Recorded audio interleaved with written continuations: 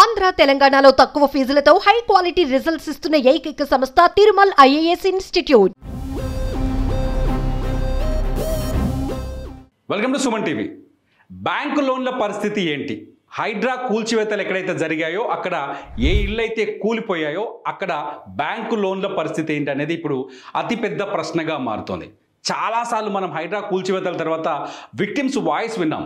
వాళ్ళు చెప్తున్నారు bank loan ఇచ్చింది జిహెచ్ఎంసీ పర్మిషన్ ఇచ్చింది హెచ్ఎండిఏ పర్మిషన్ ఇచ్చింది లోకల్ నీటిపారుదల శాఖ అధికారులు పర్మిషన్లు ఇచ్చారు. ఇన్ని పర్మిషన్లు ఇచ్చిన తర్వాత కూడా మా ఇల్లు ఎఫ్టీఎల్లో ఉంది అనుమతి లేని నిర్మాణం అని ఎలా కూల్చివేస్తారని బాధితులు అంటున్నారు ఈ ప్రశ్నలు కేవలం హెచ్ఎండిఏకి ఇది హైడ్రాకి మాత్రమే కాదు ఈ ప్రశ్నలు బ్యాంకులకు కూడా ఇప్పుడు ఎదురవుతున్నాయి. అట్ ది సేమ్ టైం ఏదైతే చాలాసార్లు చూసాం ఒక వ్యక్తి అయితే ఇవాళ గృహప్రవేశం చేశారు తెల్లారిలో తెల్లారిలోపు ఇల్లు కూల్చేశారు. ఇంకో వ్యక్తి అయితే ఇల్లంతా సర్దుకొని వచ్చాడు. కనీసం కనీసం సామాన్లు సర్దుకుంటామంటే కూడా దానికి టైం ఇవ్వలేదు.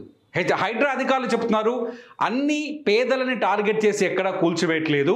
అన్ని పరిశీలించిన తర్వాత అక్కడ వేరే యాంగిల్స్ చూసిన తర్వాతే కూల్చివేతలకు అనుమతులు ఇస్తున్నామని చెప్తున్నారు. మొత్తానికి నోటీసులు ఇవ్వకుండా ఇళ్ళను కూల్చివేయడం అనేది ఇప్పుడు అతిపెద్ద ప్రశ్నగా మారుతుంది. ఇప్పటి వరకు మొత్తం హైడ్రా ఇప్పటి వరకు దాదాపు ఇరవై ఏడు ప్రాంతాల్లో ఇరవై ఏడు ప్రాంతాల్లో మూడు వందల పదకొండు కన్స్ట్రక్షన్స్ నిర్మాణాలు కూల్చేసారు ఇరవై ఏడు ప్రాంతాల్లో మూడు వందల పదకొండు నిర్మాణాలు కూల్చేశారు ఇక్కడ మొత్తం నూట పదకొండు పాయింట్ రెండు ఎకరాలు రికవరీ చేశారు. ఇదంతా చెరువుల భూమి. నూట పదకొండు పాయింట్ రెండు ఎకరాల భూమిని రికవరీ చేసినట్టుగా తెలుస్తోంది. మొత్తానికి హైడ్రా చేస్తున్నది మంచి పనే కానీ ఆ మంచి పని వెనుక పేదవాళ్ళ కన్నీళ్ళు కూడా కనిపిస్తున్నాయి. వాళ్ళ ఏడుపులు వినిపిస్తున్నాయి. వాళ్ళ బాధలు స్పష్టంగా జనానికి అర్థమవుతున్నాయి. దీనికి పరిష్కారం ఏంటి అన్నది ఇప్పుడు అతిపెద్ద ప్రశ్నగా మారింది. పేదవాళ్ళు ఎప్పుడు ఇల్లు కొనుక్కున్నా మళ్ళీ చెప్తున్నాను పేదవాళ్ళు ఎప్పుడు ఇల్లు కొనుక్కున్నా ఖచ్చితంగా బ్యాంకు లోన్ మీదనే ఆధారపడి కొంటారు. బ్యాంకు లోన్లు తీసుకొనే ఆధారపడి కొంటారు. ఇప్పుడు ఇల్లు కూలిపోయిన తర్వాత ఇల్లు కూలిపోయిన తర్వాత బ్యాంకు లోన్ ఎలా కట్టాలి? ఇంట్లో ఉంటే ఇంట్లో ఉండే ఉండే పరిస్థితి లేదు లోన్ కట్టే పరిస్థితి లేదు. బ్యాంకులేమో లోను కట్టాల్సిందే ఈఎంఐ చెల్లించాల్సిందే అంటున్నాయి. ఆర్బీఐ గైడ్ లైన్స్ ప్రకారం ఒకవేళ కన్స్ట్రక్షన్ కూల్చివేసినా లేకపోతే అనుమతి లేకపోయినా దానికి బాధ్యత కస్టమరే వహి వహించాలి అని చెప్పేసి బ్యాంకులు బ్యాంకులో ఉన్న కొంతమంది నిపుణులు మనం మాట్లాడినప్పుడు అదే విషయాన్ని చెబుతున్నారు. సో ఇప్పుడు సామాన్యుడికి దారేది అనేది అతిపెద్ద ప్రశ్న కనిపిస్తుంది. అయితే బ్యాంక్ లోన్ల విషయంలో చాలా స్పష్టంగా ఇంతకుముందు చెప్పాను వేరే వీడియోలో జిహెచ్ఎంసి అనుమతి జిహెచ్ఎంసి హెచ్ఎండిఏ హెచ్ఎండిఏ అనుమతి ఉన్న చోటనే ఈ నిర్మాణ బ్యాంకులు లోన్లు ఇచ్చాయి. సో బ్యాంకులు ఏముంటున్నాయి? జిహెచ్ఎంసీ హెచ్ఎండిఏ అనుమతి ఉంది కాబట్టి మేము లోన్ ఇచ్చామని చెప్తుంది. అయితే ఇందులో ఎక్కువగా లోన్ ఇచ్చిన బ్యాంకులు ఏందో తెలుసా? ఎన్బిఎఫ్సిలు నాన్ బ్యాంకింగ్ ఫైనాన్స్ కంపెనీలే ఎక్కువగా లోన్లు ఇచ్చాయి. అందులో ఎల్ఐసి కావచ్చు ఎల్ఐసి కావచ్చు టాటా కావచ్చు టాటా కావచ్చు పులెట్రోల్ కావచ్చు పులెట్రోల్ అని ఒకటి ఉంటుంది. పులెట్రోల్ కావచ్చు బజాజ్ కావచ్చు ఇలే ఎవరైతే ఈ కొంచెం అనుమతులు అటు ఇటు ఉన్న చోట మల్లంపేట దగ్గర కూల్చేసిన విల్లాలకు ఎక్కువగా లోన్ ఇచ్చింది ఎల్ఐసి.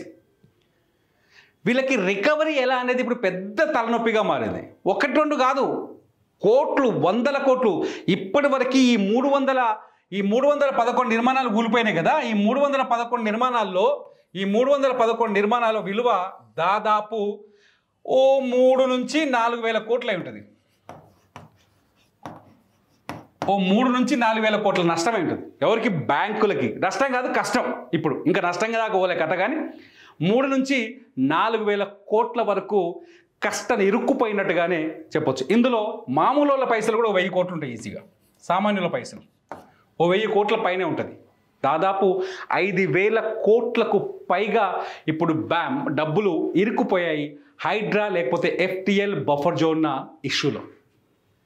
సో బ్యాంకులు చాలా స్పష్టంగా చెప్తున్నాయి ఏంటంటే కస్టమర్ల కంటే ముందే డెవలపర్లు కూడా లోన్లు తీసుకుంటారు. సాధారణంగా ఒక ప్రాజెక్ట్ ఉందనుకోండి ఒక వెయ్యి అపార్ట్మెంట్లో రెండు వేల అపార్ట్మెంట్లో కట్టే పెద్ద పెద్ద వీళ్ళ టవర్స్ ఉంటాయి కదా. ఈ టవర్స్ ఉన్న కాడ ఏం చేస్తుంది అంటే బిల్డర్ కూడా లోన్ తెచ్చుకుంటాడు. బిల్డర్ ముందే పోయి లోన్ తెచ్చుకుంటాడు. ఏ బ్యాంకు ఐసిఐసిఐకో లేకపోతే హెచ్డిఎఫ్సికో లేకపోతే యాక్సిస్ బ్యాంకో లేకపోతే ఇంకేదో బ్యాంకో బిల్డర్ పోయి లోన్ తెచ్చుకుంటాడు. ఆయన ఏం తెస్తాడు? మినిమం వంద రెండు వందల కోట్లు తెస్తాడు. మినిమం వంద కోట్లు. వంద రెండు వందల కోట్లు మినిమం తెస్తాడు లేకపోతే. ఈ వంద రెండు వందల కోట్లు తెచ్చేటప్పుడు ఏం చేస్తాడు? ఆ ల్యాండ్కి సంబంధించిన హెచ్ఎండి అనుమతులు కావచ్చు జిహెచ్ఎంసి అనుమతులు కావచ్చు నీటిపారుదల శాఖ అనుమతులు కావచ్చు లేకపోతే మున్సిపాలిటీకి సంబంధించిన అనుమతులు కావచ్చు అన్ని అనుమతులు తీసుకొచ్చిన తర్వాతనే కన్స్ట్రక్షన్ చేస్తాడు. ఈ అనుమతులు ఇచ్చింది ఎవరు? అధికారులు. ఇవాళ హైడ్రా ఏం చెప్తుందంటే లోకల్ అధికారుల్ని మేనేజ్ చేసి బిల్డర్లు అనుమతులు తెచ్చి ఆ అనుమతులపైన లోన్లు తెచ్చి ఎఫ్టిఎల్ బఫర్ జోన్లలో నిర్మాణాలు చేపట్టారు. ఆ నిర్మాణాల్లో అన్ని అనుమతులు ఉన్నాయని సామాన్యుడు భ్రమపడి కొనుక్కున్నాడు. దానికి మేము బాధ్యత వహించలేమన్నట్టుగానే మాట్లాడుతుంది హైడ్రా. ఈ అనుమతులన్నీ వచ్చేసరికి ఏం చేస్తారంటే మిగతా బ్యాంకులు కూడా అవతల బ్యాంకు అప్రూవల్ ఉంది కాబట్టి మనం కూడా ఇవ్వచ్చని మిగతా బ్యాంకులు కూడా లోన్లు ఇస్తాయి.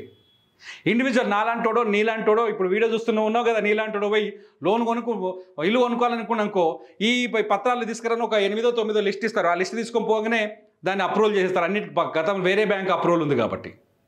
మనం ఏం చేస్తాం? అడ్వాన్స్ కడతాం తీసుకుంటాం అది పోతాం. సరే బిల్డర్ ఏం చేసిండు? నీకు అమ్ముకున్నాడు బయటపడ్డాడు.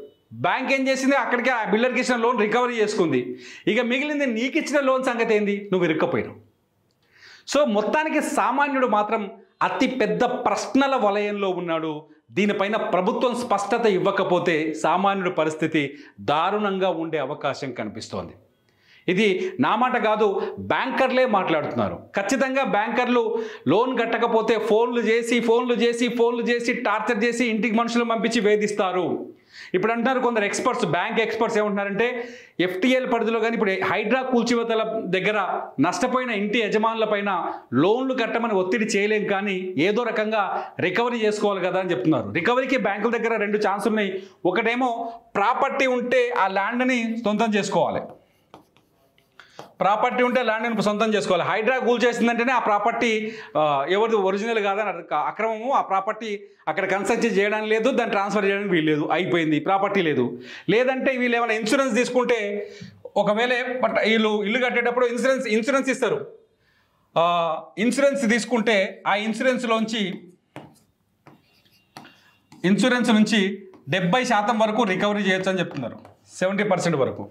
అయితే ఈ ఇన్సూరెన్స్ తీసుకున్న ఇన్సూరెన్స్ నుంచి రికవరీ చేసినప్పటికీ కూడా ఆ కస్టమర్ అక్కడ ఏమవుతాడంటే డిఫాల్టరే అవుతాడు. డిఫాల్టరే అవుతాడు.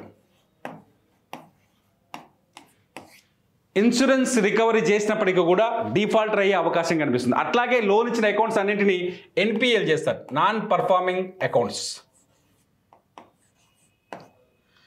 ఎన్పిఎల్ చేయడం వల్ల ఏమైందంటే భవిష్యత్తులో ఆయనకి ఏ లోను రాదు. సింపుల్.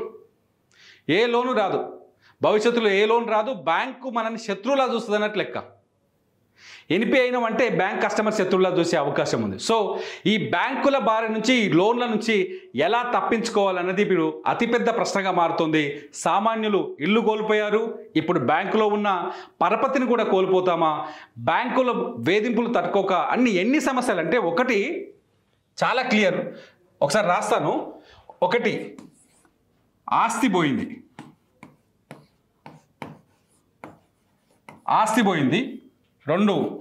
అప్పిచ్చే బ్యాంకులు పోయినాయి. అప్పిచ్చే బ్యాంకులకు నమ్మకం పోయింది. బ్యాంకులకు నమ్మకం పోయింది.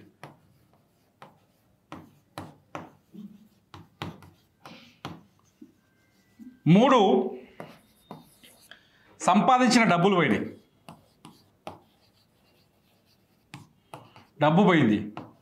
నాలుగు భవిష్యత్తులో ఎవడో అప్పియ్యడు?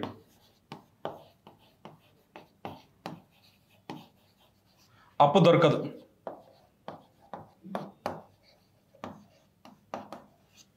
ఇక చూసుకోండి. హైడ్రా బాధితుల అతిపెద్ద సమస్యలు. ఇంకా చాలా ఉండొచ్చు. ఒకటి ఆస్తి పోయింది. కొత్త ఆస్తి ఇల్లు కొనుక్కుని ఇల్లు పోయింది. ఆస్తి కోల్పోయింది ఆ రోజుతో ఇల్లు ఇంకా కనిపించట్లేదు. అప్పించిన బ్యాంకులపై నమ్మకం పోయింది. లోన్ కట్టకపోతే బ్యాంకు లోన్ ఇవ్వదు లేకపోతే కోర్టుకు వెళ్ళాలి కోర్టు చుట్టూ తిరగాలి.